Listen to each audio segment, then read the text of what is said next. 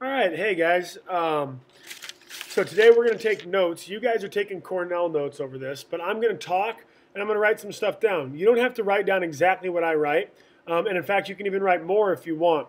Um, but you should be following the Cornell note um, template that I've given you. So today's topic is going to be um, what are forces? So what are forces? Now, that's not necessarily a note. That's not a piece of information that you're going to put in the notes section. Um, but that's sort of our general topic. What are forces? Um, now, in general, okay, if we're going to say what are forces, the most basic way that we can think of a force, okay, um, we can say that a force is a push or a pull. Okay, a push or a pull. Now, we also know that pushes and pulls are two specific types of forces that we're going to talk later.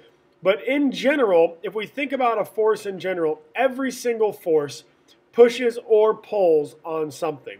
So even if we think about something like gravity, well, we know that gravity is not touching an object and pulling it, but it definitely pulls it in one direction. It tries to get it to move in one direction. So we can think of a force in general as a push or a pull of some sort. Now we know there's a lot of different ways that you can push or pull. Um, okay, so the other thing we need to know about a force is a force is a vector.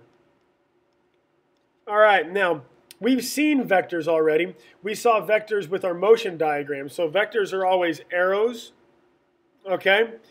Um, the reason that a force is a vector is that just like these arrows, okay, a force has a direction, and a magnitude.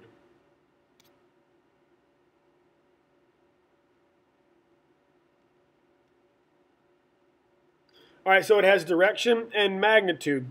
Um, direction obviously means that every time we have a force, it's pushing or pulling one way or the other. It's not just generally all directions. It's got to be a specific direction. And a magnitude just means a size. Okay? So that means that some forces are bigger than others. So every force has a specific size. So vector means that it has a magnitude and it has a direction. Okay, so that sort of answers our question, what are forces? Um, let's think about this. What do they do?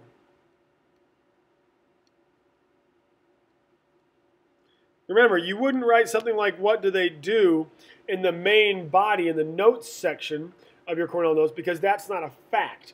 Um, but what do they do It could be something that goes on the question side. All right, so what do they do? Well, we obviously know that they can move things.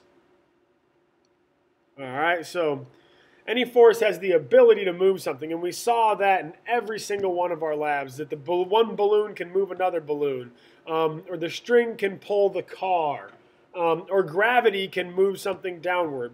Um, so move things is something that obviously happens, but there's something else that we haven't talked about, and that's that forces can also deform things. So if we think about what that word deform means, deform just means to change the shape, okay? Change the shape, or it could even change the size.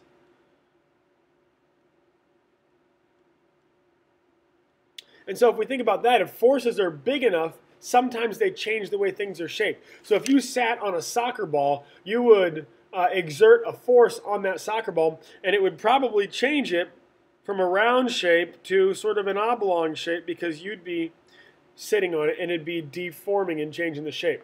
Um, and we can even deform, so like in a car crash, obviously the, the shapes of the cars are deformed because of the force of the car crash. So deform things is another thing that, that forces can do. Um, okay, the other thing, so sometimes, and we saw this, sometimes forces don't do anything. All right, so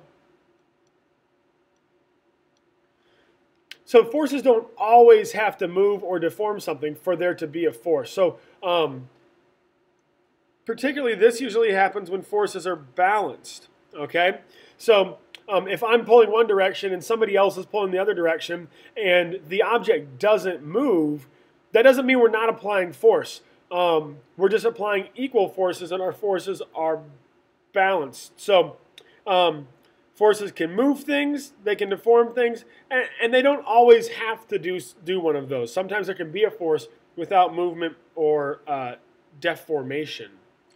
Um, okay, so the next thing that we want to talk about on our note sheet is the different types of forces. Uh, so we saw, and we talked about this in our post-lab review, is that there's a couple different types of forces. So the first type of force is a contact force.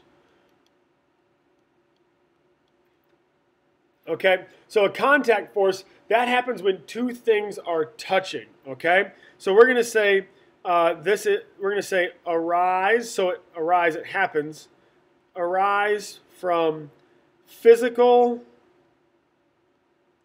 contact. Okay, so it arises, sorry about the bad handwriting. So it arises from physical contacts, two things touching. So examples um, might be a push, it might be a pull. Uh, so we had a pull happen in our lab when I did the tow truck. That was a pull. Um, in our lab, we also saw that there was a contact force when there was friction. That's a contact force.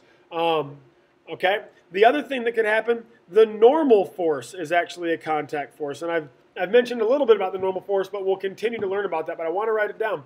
The normal force, so that force that keeps you from falling through your chair, that's also a contact force. Um, the other thing that we have are called field forces. Okay? These could also be called non-contact forces. Non-contact forces. Okay, so field forces don't require contact. All right? But instead, they use a field. All right, and we can think about lots of different types of fields, okay? Um, and so let's talk about examples of this to talk about different types of fields. So examples might be, the most obvious one is gravity. And we could think about a gravitational field. Hey, Mr. Sarton, what's up? Um, mind if I finish this? All right, so another field, another force that you could have that's a field force is electromagnetic. Electro, let's see if I can spell this right. Magnetic. So the electromagnetic force. We saw that one with the magnet from, uh, from the bottom of the tripod and the paper clip. So electromagnetic, and we can think about an electromagnetic field that causes that force. And the last one is electric. Okay? And so um, electricity, electric fields can cause a force. Now we are going to see this most often in the form of static electricity. And static electricity would be the balloon example. So the balloons don't touch each other, but there's still a field force there that causes one balloon to move and one balloon to, to stay still. Um, okay, so those are our types of forces. Contact and non-contact, which are also called field forces. Now the last thing we said that there's always two objects, okay? Always two objects. Okay?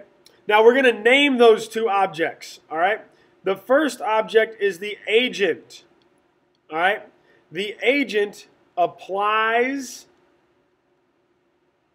the force, okay? Like think of a secret agent. An agent goes out and does something. All right, an agent causes something to happen. It applies the force. All right, the other one is a receiver. And that seems pretty obvious, right? What's a receiver do? It receives the force. Okay, so that's really important now. In every one of these situations, we're going to be able to identify an agent that applies force and a receiver that receives force, okay? So even in a field force, when two things aren't touching something, there's always an agent and a receiver. So you might think about like, well, Mr. McSparin, in gravity, it seems like there's not an agent. Well, of course there's an agent. The Earth is the agent. The Earth causes the gravity, so it's applying the field force. Or a magnet is the agent. Even though it doesn't touch the receiver, it still applies the force.